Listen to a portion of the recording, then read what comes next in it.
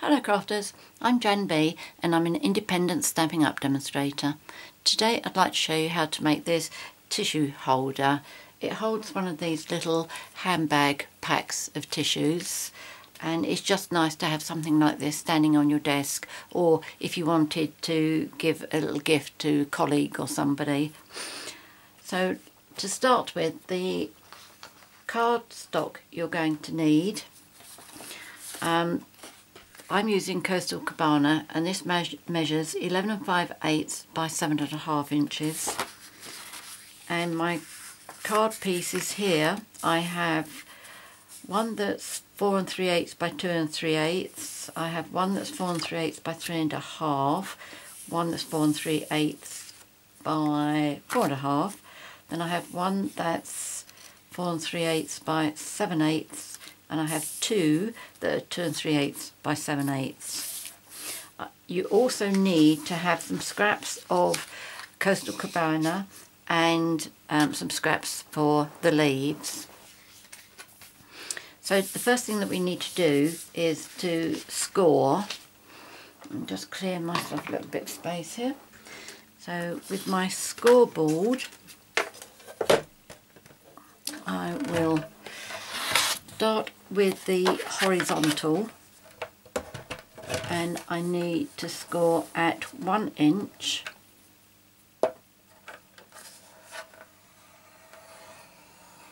Three and a half inches.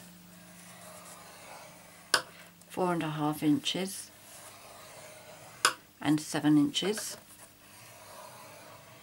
And then turn it vertically and you need to score at half an inch.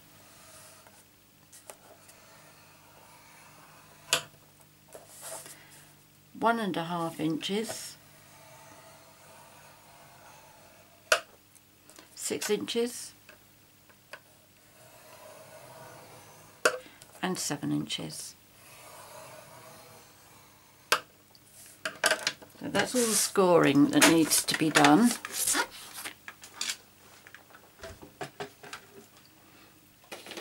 this is my template of what we need to cut off.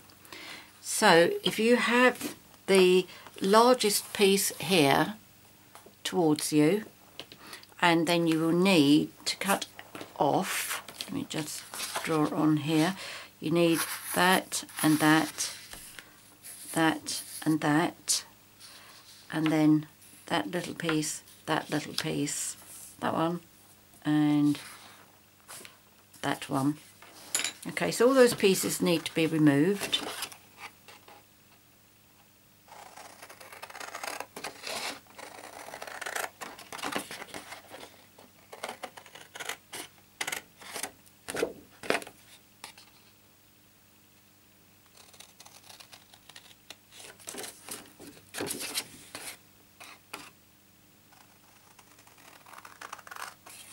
As you know, I normally use uh, Stampin' Up's paper snips for my cutting, but when you're doing something like this, these full-size scissors are much better.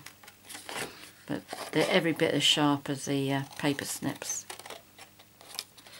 Okay, so now that I've done that, I will change to my smaller ones because I do prefer small scissors. Okay, so we're going to cut that piece off there. And then cut down to the next fold. And I take a very slight little wedge out there. And then the same again the other side. Okay so take that piece off first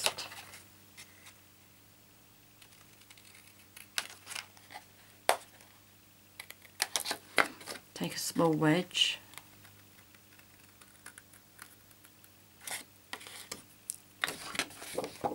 And then same the other side as well. So that's the piece that's coming off and we cut down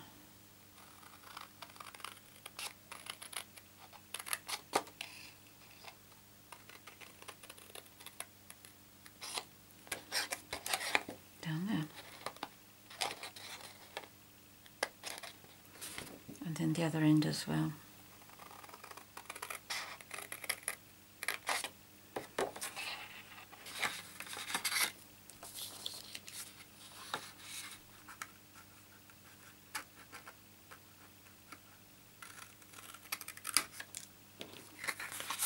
and take the little wedge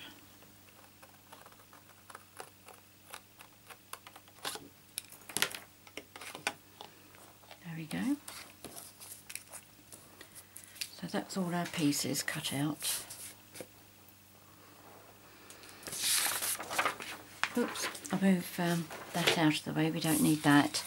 Uh, right first things first. Now this is what I quite often forget to do and that is to do the cutting first for the opening because it needs to be done with the um, layer as well. So what I'm going to do is fold that piece in. This is the small piece down here, okay, so that was my, that's going to be the big piece at the back. So fold that piece over and I am using this punch. Um, I can't remember what it's called. Um, anyway, you slot that piece in there. Position it so that it's half, well, um, in the middle. You've got the same amount of gap that side and that side.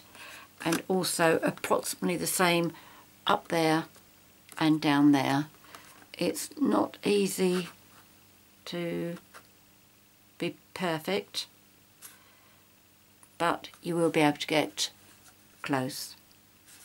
In fact that looks pretty close to me.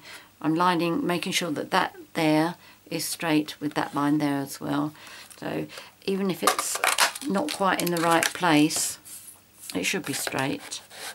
very carefully take that out. You do have that on the side bit, but that's inside the box anyway, so that's not going to show. So the next thing you need to do is to put this piece on here.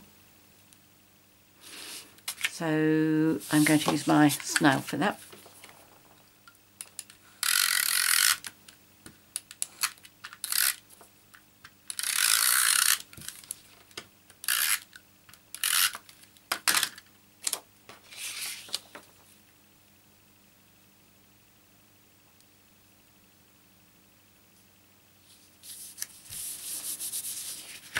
And then I'm going to fold this back up again.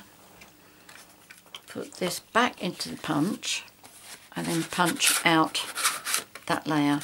Just line it up again.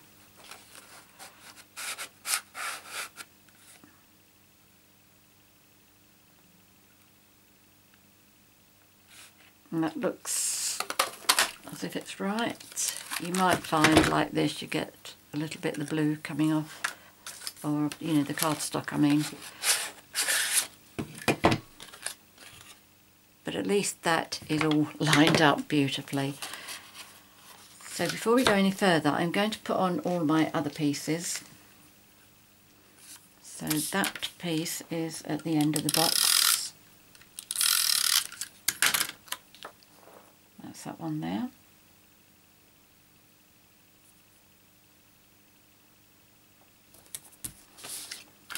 the other end.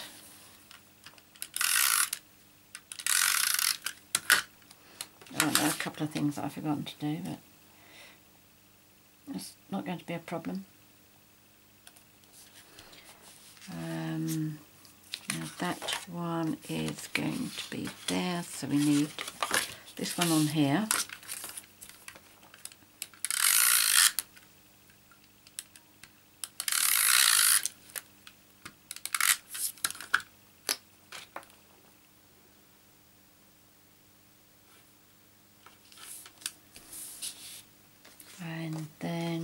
this one. Uh, can that be right? Or have I done my pieces wrong? Well, not tomorrow. I'll do those pieces at the end. So let's fold the rest of um, these score lines. And it is a good idea to use your bone folder so that you get nice crisp folds here.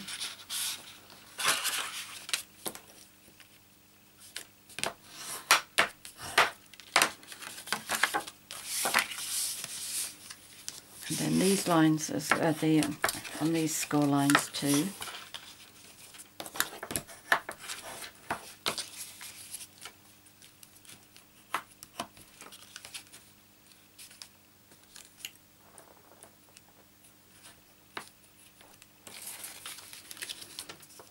side.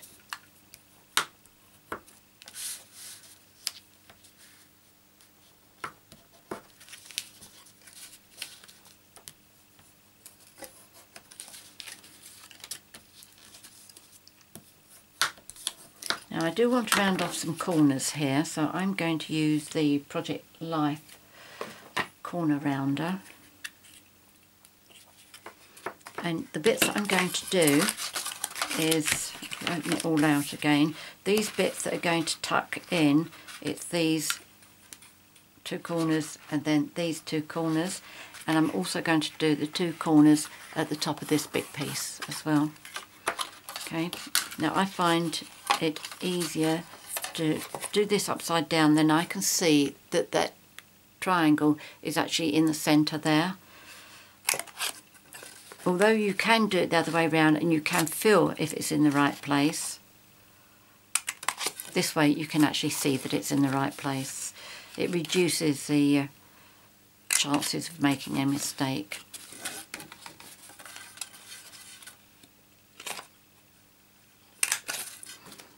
and then these two here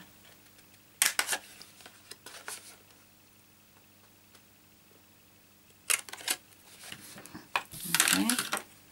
So we're going to close our box together now and I'm going to use, in fact let's use fast fuse, shall we? I quite like this. I know a lot of people say that uh, they struggle with it, but um, apparently the secret is not pressing too hard with it. and you have to do a little flick when you get to the end. Oh, that was easy.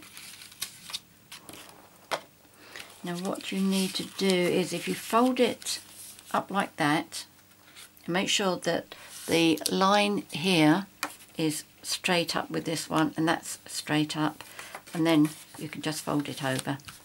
Okay. Now if you wanted to make lots of these you could get that far and then just fold them and keep them for a while. Decorate them once you're ready. Um, or if you wanted to send them through the post, you could do that. Um, but obviously you wouldn't be able to decorate it too much. Um, anyway, that gets closed like, like that. And that one gets closed like that. Now these two pieces, oh yes that's okay, that's going to fit there. So I need to round the top two corners.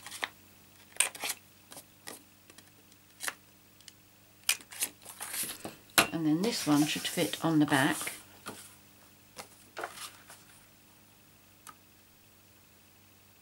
Yes, that's going to work as well. So let's round those two corners. Okay, so pop these on as well.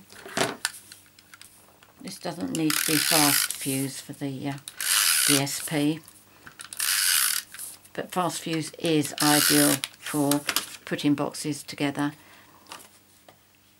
And if you're like me, you don't like fighting with that red sticky strip, fast fuse is a really neat answer. Okay, so that's that one. And then this one.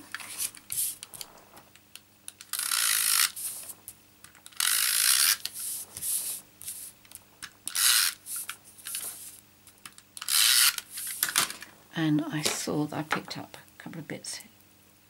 No, not that one,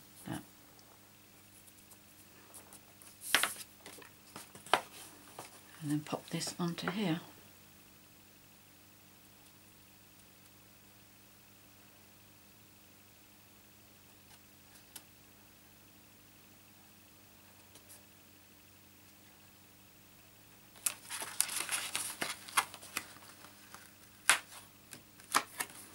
Just raise that up a bit, it was too far away from the top.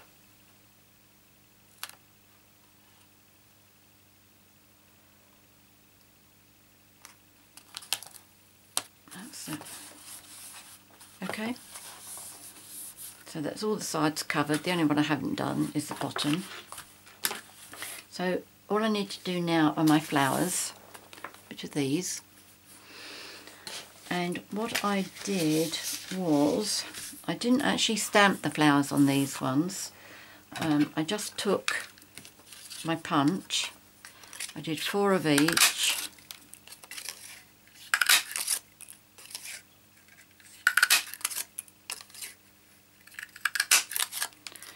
There's that one. This is quite handy for those of you that don't actually have these stamp sets that go with these punches.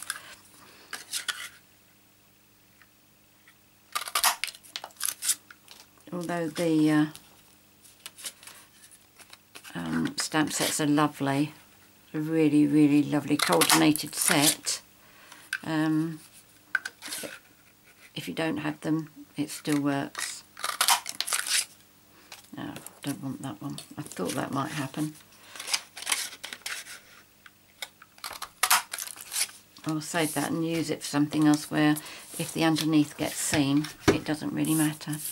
Now what I do with this is, if I don't want to do the actual stamping, I take my Coastal Cabana pen and then I just do three lines to give my petals some character.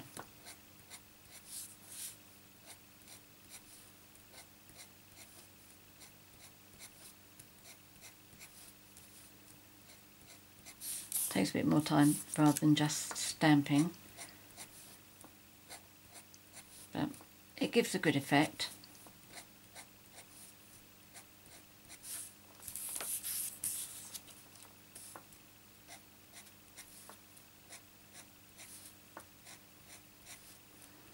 And then once I've done the large flowers, I do the little ones as well. Again, three lines, but smaller.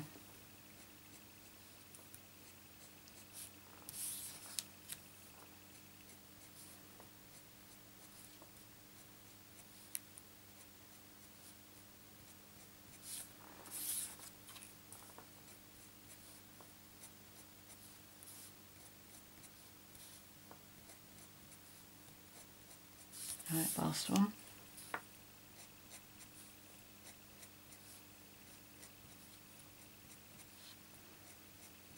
Then I'm going to sponge the edges using the white um, ink. If you saw my earlier video where I did, um, I called it Velvety Flowers, when I sponged the edges like this I just felt um, it made the flowers look as if they were velvet.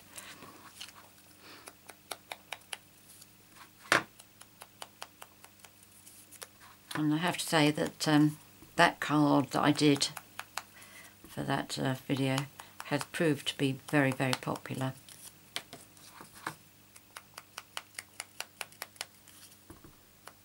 I've had several people order um, the cards and so that they could have them personalised which is one of the extra things I do.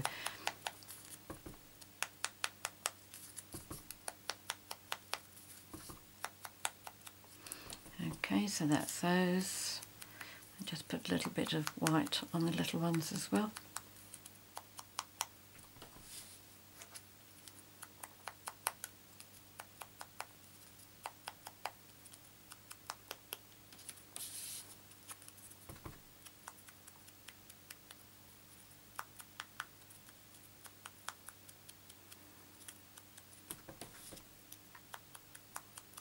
Daubers are brilliant. Don't know if you've tried them or not, but they really are good. There we go. So that's that. And I'm just going to give them a little bit of a curl around my pencil to uh, give them a bit of uh, dimension.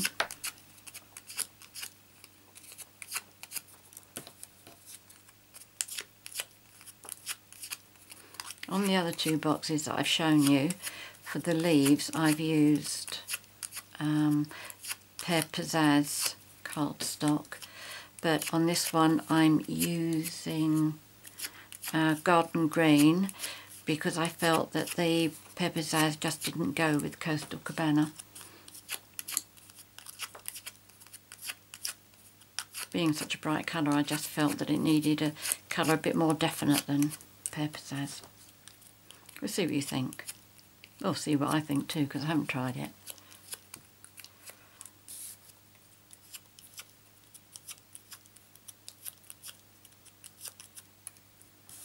There we go, nearly done.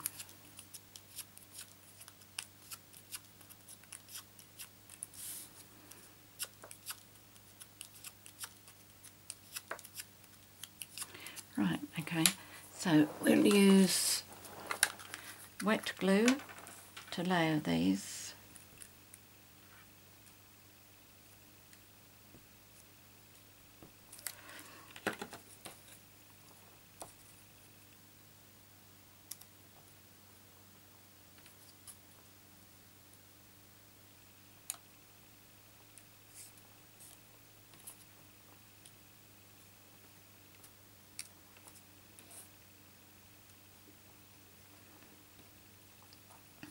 Okay, so that's those. And I'm going to put them onto the box first. And all I need to do is do the leaves.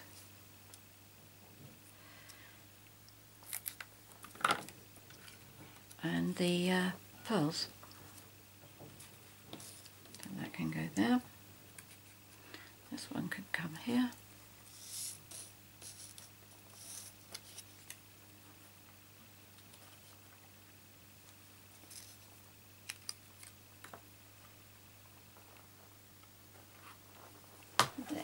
So while they're drying, let's just pop the uh, pearls on. I'd like to use these large ones for this.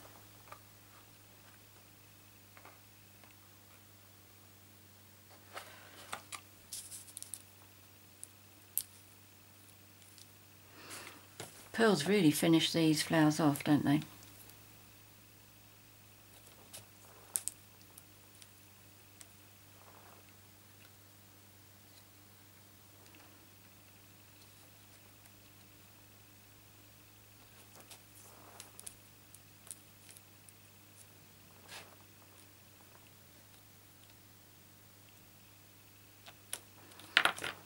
okay so you just need to uh, curl the petals up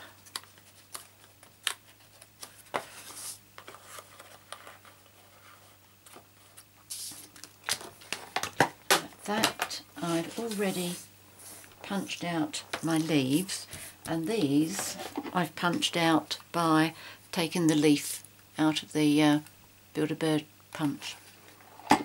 And then what I do to give these a little bit of character is I take my stylus, which I've popped away again. Let's right, let's use a big one. And all I'm going to do is just draw a line down the centre of the leaf.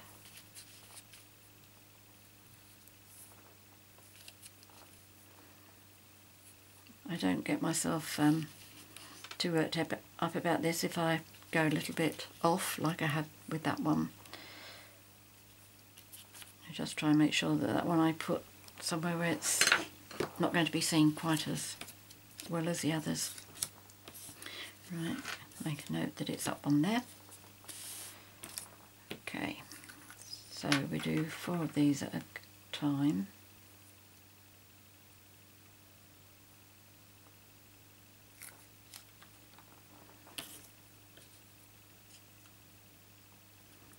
just tuck the leaves in underneath the flowers.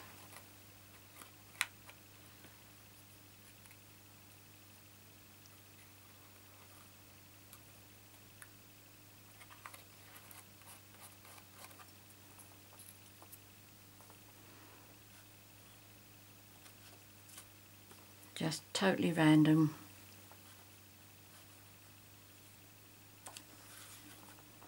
Some of them I put them together like I have done with that one. Other times I separate them like that. And this little one over here I'm going to find a quite little corner for him to sit.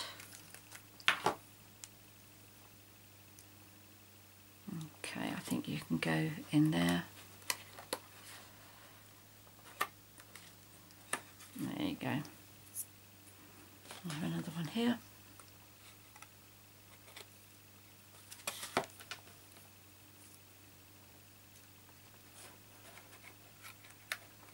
one there and the last one there. Now, if you're giving this as a gift to somebody, obviously you'd want to just pop the tissues in like that. These ones I'm lucky because there's no advertising bit on the front here, no name. Well, it's the back actually, um, but that's fine. But for myself, I take them right out of the plastic um, because the opening for this is actually up the top here rather than in the centre. And the other alternative, of course, is to cut a hole in the plastic so that it matches up with that. Um, but as you see, I just take mine straight out. But I wouldn't do that if I was giving it as a gift to somebody. So there we go. What do you think? See what I mean about the pale green leaves there? I really don't think they would have gone very well with the Coastal Cabana. Um, there was one other one that I've made and that's this one here.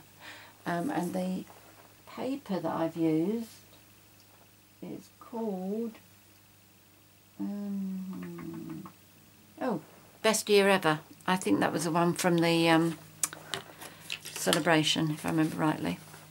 There we go. So, what do you think? Hope you like it.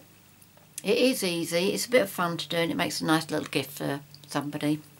Um, Thanks for watching my video. If you have any questions, please contact me. I'll be happy to help. If you've enjoyed watching my video, please subscribe to my YouTube channel by clicking on the subscribe button at the top right hand side or underneath the screen. If you'd like to buy any of the products that I featured here, apart from the tissues obviously, um, please visit my 24-7 online Stampin' Up shop. The link is on the screen. Many thanks for joining me today. Until next time. Happy crafting. Cheerio.